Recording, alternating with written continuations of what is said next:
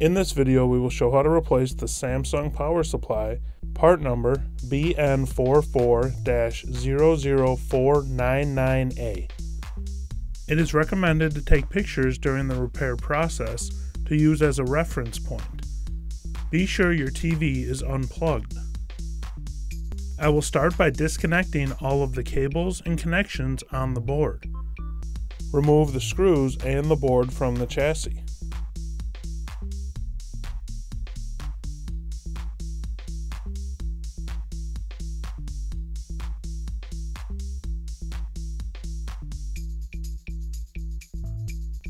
Align the replacement board and install the screws to secure the board to the chassis.